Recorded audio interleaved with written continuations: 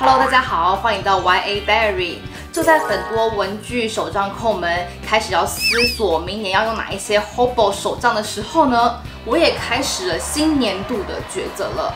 不过呢，和他们不一样，我还没有成名到 Hobo，我呢是要开始犹豫明年度到底要选购哪几款的日历来使用。在去年的时候，因为我想购买手账的时间呢比较晚，而且我就非常的坚定，我只想要使用那个宇宙日历，之前我们介绍过的。但今年的情况呢，根本就和去年是不可同日而语。为什么呢？因为演算法带我认识到了好多好多不同的日历品牌，大概有十几样吧。所以我想说，就趁着目前各大品牌还在进行募资或是预购的时候啊，来找大家和我一起挑选明年度的日历。说不定呢，这里面呢也会有你们心目中命定的明年日历哦。我们就一起来挑选吧。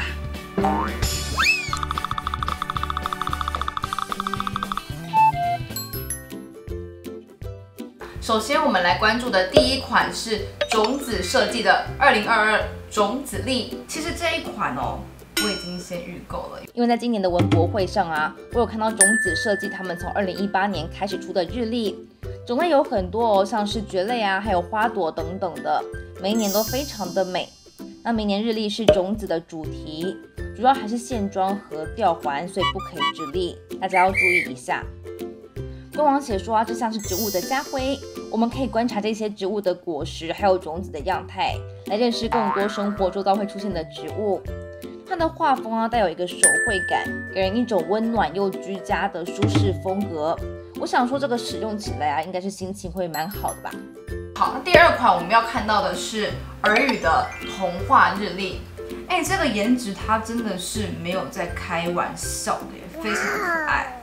这款童话日历啊，它的插图风格很细腻，下方配置的是当天出生的名人名言，而且还有中英对照。所以啊，不管你是要节选下来做拼贴，还是说想要手抄，它都很适合。整个版面的编排很简单，色彩不多，但是它非常的吸引人。你看它左下角还有老哥的推荐哦，整体设计是很用心的。那它除了可以吊挂之外啊，光是简装版的纸盒就可以折成书架来使用。哎，这个我有点喜欢哎，天哪！再来第三款，我们要看到的是好玩设计的农民日历，它兼顾了传统啊，而且又不失有趣。我们看一下它里面的一些设计，它把我们传统的农民历啊加入一些新的元素，内容是参考老祖先的智慧，也就是农民历来设计的，也会有选出符合现代人的事项。那你看它主要是用台湾的传统花砖，还有铁窗的图案。整个配色的氛围啊是复古的，可是它又具备的设计感。再来是第四本，是敏迪选读的国际观察力。这一本呢，我在网络上看到有非常非常多的人推荐，包含我的朋友们在内。我想它应该会是二零二二年的日历热销款。它的版面配置还有绘图的风格都是蛮简单明了的，会有国家、国家领袖、各大组织啊，还有历史事件的介绍。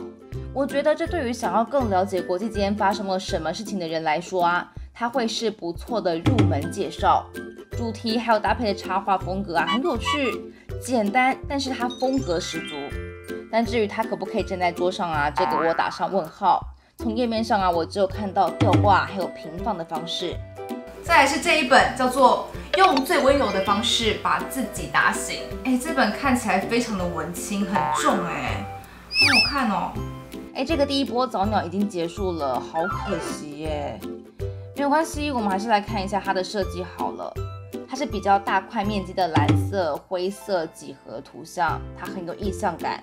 那旁边搭配一些小短文、小短句，内容很像是在和自己对话，而且它不是那种太鸡汤性质的文字，这点蛮好的啦。因为我觉得说不一定要用全然正面的话语来提点自己。我们可以尝试着适度接受一些负面，或是更偏向现实层面的想法，那或许可以发现到更多不同的自己。总之就是啊，我觉得它的文字设定概念很不错。接下来是岛上制作的美好日子，它这一本是旅行的主题。这本你看它真的好可爱，它上面是机票的意象，这里还有起降机场的代号，然后再看这个啊，当天的日期。就是那一种出入境的日期印章，这完全就是充足的旅行感呢。因为刚好这两年是疫情年啊，所以我们都很难享受到旅游这一种悠闲的感觉。那它中间简朴又温暖的大张插画啊，可以当手账拼贴的主角。如果你要把它当成小信封或是小书的封面，都很不错。但光只有这样子啊还不够，它下方还有这个每天的 to do list，可以让你维持生活的仪式感，还有一些世界的小知识介绍。它真的是一个很完整又很可爱的一款日历哦。然后它是有配置厚灰卡纸板，所以它可以站立的，很欠买，真的真的。还有这一本是小鱼星座的今日宜少聊，哎，这个蛮特别的，它是星座专家出的日历哎。我们来看一下哦，它的命题是沉浸式的日历，它有在试着和你对话，还有今天以什么记什么，可以让你填写。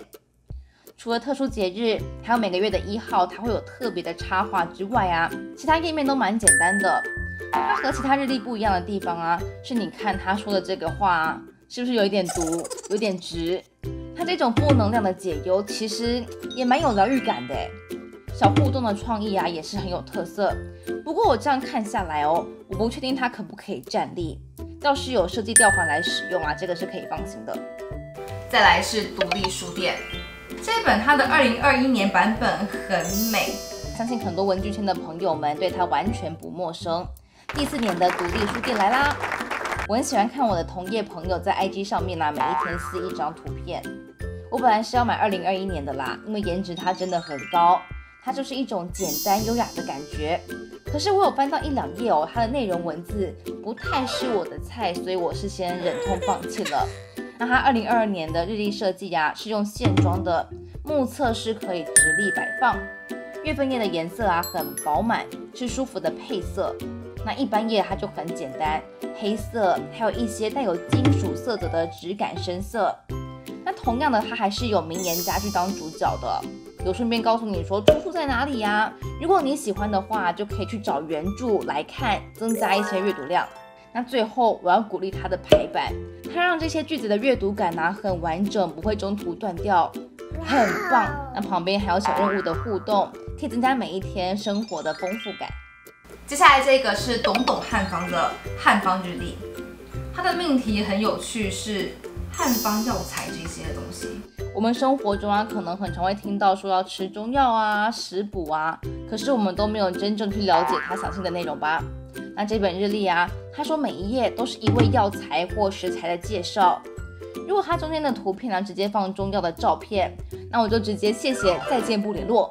可是啊，它是这种有一点写实又不会太写实的可爱插画，而且它还有把这些汉方的性质啊、来历啊、故事啊都写在上面，所以每天可以认识多一点点的这种有知识性的内容，真的是非常养生。不过要特别注意的是，它有木质底座，所以直立的摆放没有问题。但可不可以吊挂啊？这一点还要再观察。再来下一本和前面的主题有点像，它是时令日历，它的插画风格很可爱，我觉得也是一个会让人很忍不住想要去收藏起来的主题。上一本是中药材为主嘛，那这一本是食材居多。它会带你认识一些蔬果食材之外，也会告诉你说食材的寒、热、温这些特性，以及它的食补功效怎么样啊？还有历史的知识啊、典故等等。哦，它的插画风格比较朴实一点，整本是可以吊挂的，也有附加那种厚纸卡来当底座。但是啊，因为这些食材的介绍图，它大部分是有打底色的，所以如果要用在拼贴的话，你可能要花比较多心思来搭配啦。那刚才汉方那一本呢，就比较容易剪下没有底色的素材图，所以大家可以综合的考量一下，看比较喜欢哪一本。再来这一本很可爱哦，它是虎虎生风猫日历。我不是猫控啊，可是就觉得说它刚好就符合这个生肖年，所以也点出来给大家看一下。它似乎就还蛮应景的。那一样是白色底的简约风格，上面有标注到农历还有节气，以及你今年是过了几天。好，我们看一下这个猫咪主角啊，它感觉懒洋洋的，很萌哎。那既然说猫咪是主角啊，所以它下方的文字啊，自然就是以猫咪的小故事还有知识为主。它这点有做出市场的区隔，我觉得很不错。那重点是这里，它有很厉害的手翻猫动画的巧思，这种逐格动画真的很有趣。那这个四季的猫咪主角不同啊，所以配色风格也不一样。日历的底座啊更特别哦，它是这一种像不倒翁一样的会摇摆，所以猫奴们可以参考一下啦。这个好可爱哦，它是台湾鸟日子，它顾名思义是介绍鸟类。这本手绘风格的小鸟，它下方有这一种整体配色的色票。假日的时候啊，还邀请你一起涂鸦。它旁边有留空白行可以写注解，而且它还有好好和你介绍鸟类。更贴心的是啊，还有注音对照。毕竟哦，有很多鸟类的名字啊，它不是有边读边，没边读中间的类型。那它还有给这个纸的底座，看起来是蛮稳的啦。不过鸟类对我来说啊是相对陌生的，所以我会把这本日历啊推荐给想了解这个领域知识的朋友们来使用。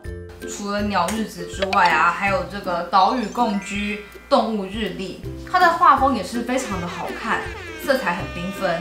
那它既然是定位在岛屿共居，所以我们就先预设这上面的角色都是台湾这座岛屿的原生物种。那这本插画设计啊，色彩相较于前面看到的几本来说啊，我觉得它非常的缤纷，但是你不会觉得它过于的华丽，看起来是那种可爱可爱的。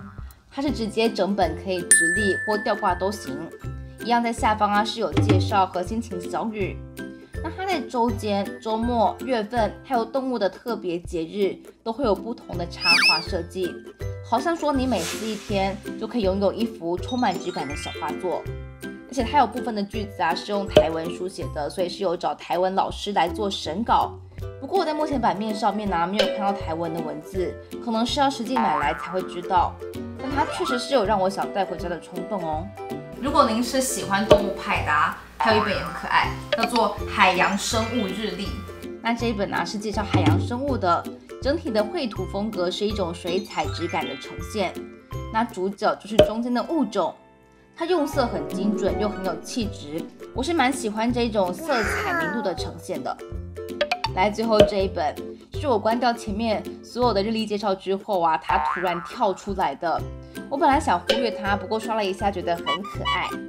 这本设计很简单啊，就是日期，还有农历和每日一记，搭配可爱的小插画，还有每日的小金句。整体的配色啊，只有黑白黄这样子。它有附给你棉绳，所以是可以吊挂的。那以下还有一些我稍微有点开的部分，像是这一个老派生活日历、台湾好色时代梗图三六五风俗考察二、五金行日历、台湾美丽日历、图文不符百态自由、亲子时光、屋建屋立。这里面啊有一些是新品，还有一些啊是过去几年就很夯的作品，或者是还会有其他人的推荐。如果您有兴趣的话，也可以搜寻看看哦。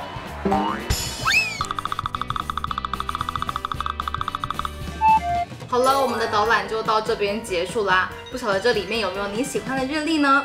那我个人呢，会等所有我购买的日历全部到货之后，再一起开箱给大家看，顺便可以来猜一下我到底购买了哪几本日历。那如果您想和我们分享任何日历，或是您特别喜欢哪一本日历，都欢迎留言告诉我们哦。我们下次见，拜拜。